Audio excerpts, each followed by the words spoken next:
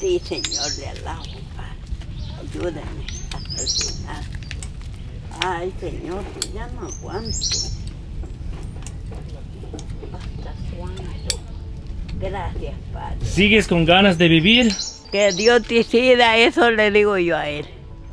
Que Dios te siga, porque yo ya no aguanto. Mire, yo no trabajo. Yo a veces me quedo sin nada, nada, nada. Pero Dios me sostiene. Mire, qué bueno es mi rey que Él me da. Él me ayuda, me sustenta mi estómago. Quienes me llevaron refi, quienes me llevaron tele, quién me llevó eh, cocina, no sé, no sé, no sé. Las bendiciones vienen de arriba, las bendiciones espérenlas de lo alto, que Dios lo cubre, Dios lo cuida, Dios lo ampara y Dios lo carga en su mano preciosa donde quiera que va, a donde quiera que está. Bye, bye. Bueno. Pero gracias a Dios aquí ando todavía. Vaya hijo, gracias.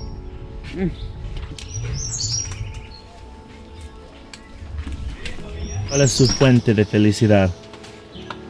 Para mí es trabajar para obtener lo que nosotros soñamos. No dejarles algo a nuestros hijos, para que ellos aprendan sobrevivir en la vida.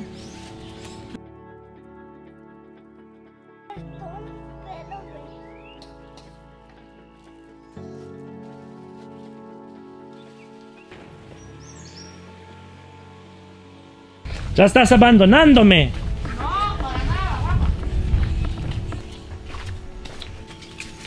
Traer la venta Mm, para sacarla para afuera. Shh, cállese. Va pues. los perros están flaquitos. Sí, Muy caro la comida de perro. carísimo está. Buenos días. Hola. ¿Cómo estás? Bien.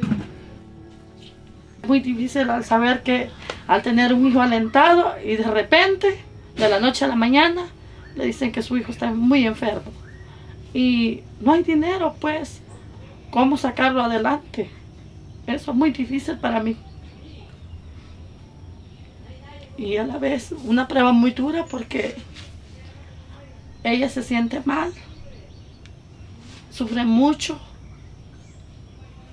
por veces ella se deprime, por eso yo, o sea, no le puedo dar, o sea, como dijera, ella no me puede ver así porque ella después agarra cama.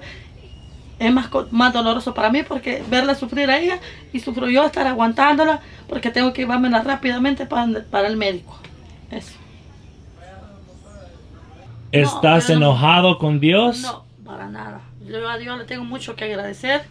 No tengo por qué estarme enojando con Él. Le tengo que agradecer muchísimo a Él. A la vez, yo le pido a Él que me la aliente más. Que me le devuelva la vista. Para que sea una niña normal otra vez. Eso.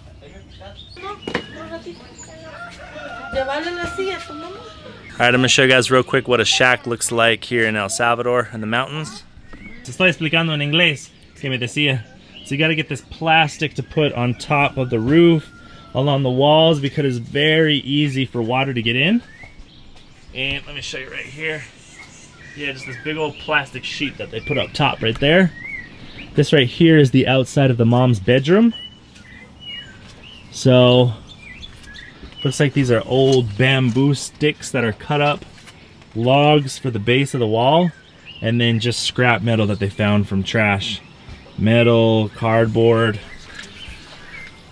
See right there that a lot of holes coming in. Um, and then yeah, this is the back of the house. This is what a bathroom looks like for these families. Really common. So the walls are built out of wood, plastic, and then they'll dig a really, really deep hole and then uh, put an old toilet seat over it. A lot of times there's not even a, a toilet seat there. Beautiful, beautiful area here. And then right down here, that is the capital of El Salvador. Hola, ¿cómo estás? so this is the kitchen right here. Voy a mostrar el horno aquí. This is what they're cooking with, with wood. Um, obviously it's a dirt floor, not even at all. And then tables here. This is this is kind of what their furniture look like. There's gotta find wood lying around and make their own furniture. This right here, voy a mostrar su cuartito. This is mom's bedroom right here. So yeah, we got plastic protecting it from the water getting in. I don't even think this is plastic. Um, this is like a fabric that you would see on a, on a potato bag. So it, it really would still let in water if there's a big tropical storm.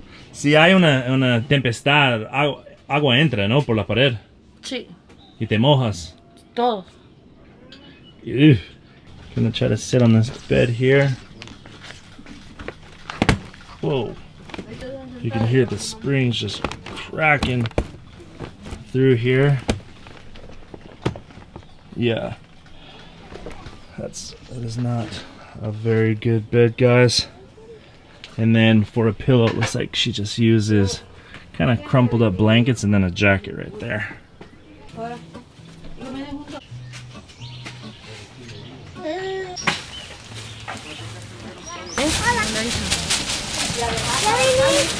Aquí, 8 dólares. Cinco. Cinco dólares solamente para estas zanahorias. Solo eso, sí. 4 dólares. Sí. Buenos días, mi amor. Mira, hay bastante personas pidiendo papas. ¿Por qué ustedes no venden la papa? Vale 80 el quintal. Es para dar a dólar. A 1.25 la libra. No hay pista. ¿Cuál es la fuente de tu felicidad? mi negocio porque allí va saliendo que sea para la comida del día. Lo único que la comidita no nos falta. Los días mejores para vender es sábado y domingo y a 10 semanas hay veces que dos dólares son los que vendemos. Y si no vendemos el producto lo perdemos y perdemos todo. En el hogar cuando hay niños, nosotros nos lamentamos porque si no vendemos tenemos que darle la comida a los niños. Y si no tenemos, si no vendemos, tenemos que rebuscarnos para darles que sea la tortilla con el pedacito de queso. Porque tampoco vamos a decirles vamos a dar la cantidad si no vendemos. Tengo un regalo para ustedes. ¿Ya? Vamos a esperar hasta que ellos salgan. Esto es para, mí, para mis mujeres. Compartan. If I could take you back to my youth, De veramente, créalo que sí le agradecemos. Primeramente a Dios y era la bendición que Dios desperate, Y el Señor me hablaba, me decía clamar por tus manos, porque yo tengo una acción de gracia y no la hacía por falta de económico. Y me decía en el caso de mi hermana, clama mucho por la bendición que voy a entregar en tus manos. Nunca esperaba eso. Pero Dios le va a multiplicar. Se lo va a multiplicar en gran. Dios, y Él se lo va a dar al doble,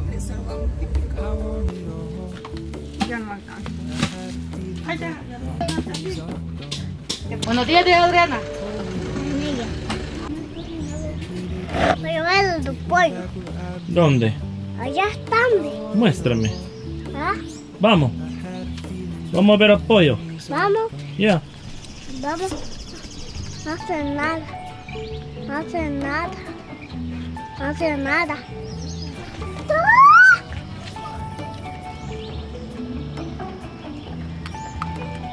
¡Ah! Allá hay chaco. ¿no? Y hay loro. Y hay loro.